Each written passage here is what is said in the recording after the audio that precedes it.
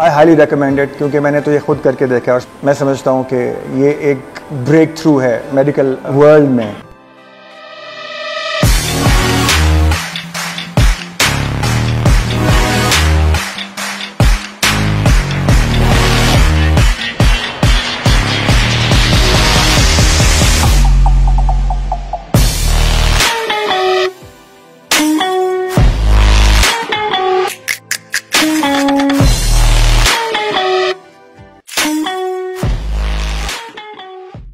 बिसमिल्लाम आज हम बात करेंगे अपने पेशेंट असद मलिक की, जो कि ना सिर्फ़ एक टीवी सेलिब्रिटी हैं, बल्कि उसके साथ साथ वो एक एथलीट भी हैं और उन्होंने अपनी सारी ज़िंदगी जिम के अंदर और स्पोर्ट्स खेलते हुए गुजारी। पिछले कुछ अरसे से उनको अपने घुटनों में और ख़ास तौर पे उनको अपने कोनी, एल्बो के अंदर काफ़ी ज़्यादा प्रॉब्लम शुरू हो गई और वो प्रॉब्लम बढ़ते बढ़ते यहाँ तक पहुँच गई।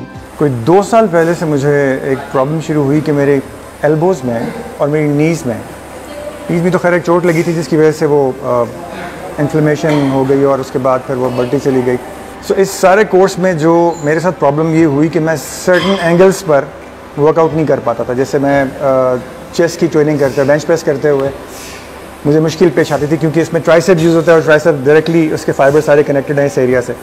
तो यहाँ पर इन्फ्लेमेशन हो जाती थी और बहुत पेन होती थी और मैं बाजू को ज़्यादा ज़ोर नहीं दे सकता था। और ख़ास तौर पर जब मैं अपने ट्राइसेप की एक्सरसाइज करता था। उसमें तो कुछ एंगल्स ऐसे थे मैं कर ही नहीं पाता था। सो so, इस वेन के लिए ज़ाहिर है पहले आप फ्रेंड से डिस्कस करते हैं फिर आपको वो मशवरा देते हैं फिर डॉक्टर्स के पास जाते हैं आप।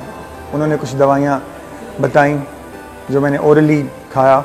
इन सारी चीज़ों से मुझे कोई फ़र्क नहीं पड़ा कोई अफाका नहीं हुआ। मैंने ज़िक्र किया डॉक्टर तौसीफ़ से जो पिंडी में हमारे बहुत अच्छे दोस्त हैं और किडनी ट्रांसप्लांट में पॉइनियर हैं। उन्होंने हमें बताया कि हमारा तो अपना सेटअप है।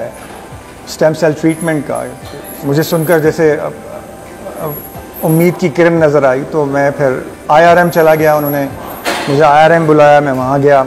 वहाँ डॉक्टर सलमान से मेरी मुलाकात हुई, जो अमेरिका से स्पेशली स्टेम सेल ट्रीटमेंट की ट्रेनिंग और कोर्स करके आए हैं। He is one of the best in Pakistan and obviously one of the first उन्होंने मुझे एग्ज़ामिन किया और जो प्रॉब्लम थी उसके बारे में मुझे डिटेल से बताया कि प्रॉब्लम क्या है, क्यों है और इसे कैसे ठीक किया जा सकता है। मेरा ट्रीटमेंट शुरू हुआ, जिसमें पहले इलेक्ट्रिकल इम्पल्स थेरेपी उसके बाद फिर लेज़र थेरेपी तकरीबन 12 से 15 दिन ये सेशन चलते रहे।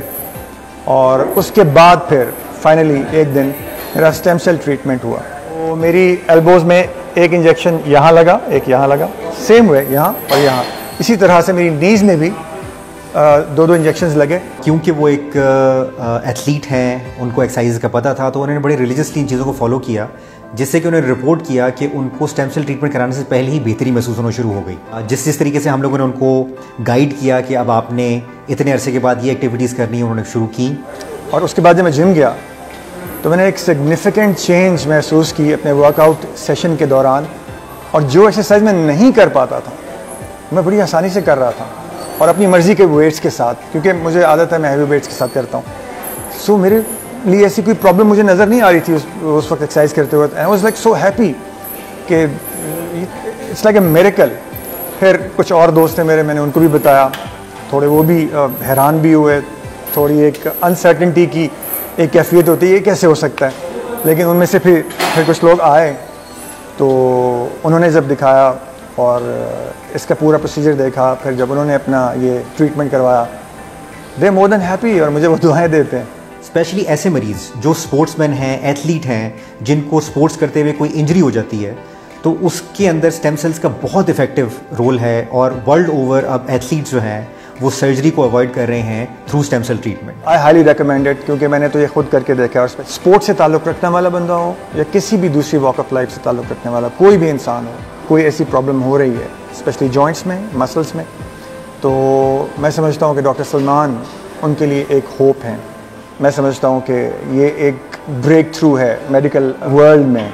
अगर ख़ुद आपको स्पोर्ट्स इंजरी है या आपके ख़ानदान में किसी को स्पोर्ट्स इंजरी है, ये ऐसी इंजरी है जो आप समझते हैं कि वो स्टेम सेल से ट्रीट हो सकती है तो हमारे सेंटर पर तशरीफ़ लाएँ ताकि हम आपको बता सकें कि स्टेम सेल आपके लिए कितने इफ़ेक्टिव होंगे। शुक्रिया।